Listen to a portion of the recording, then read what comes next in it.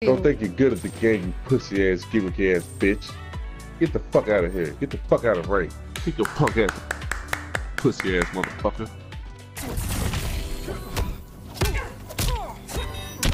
I did it again. It worked. Had enough I would just do it now, Dad. I would just do it now. I would just do it. Like he did it. It worked. Thank you. That's crazy. It worked.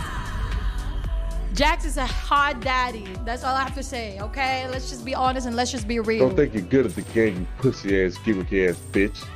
Get the fuck out of here. Get the fuck out of ring. Get your punk ass, pussy ass motherfucker. I told you my dad is a Karen. I told you my dad is a Karen.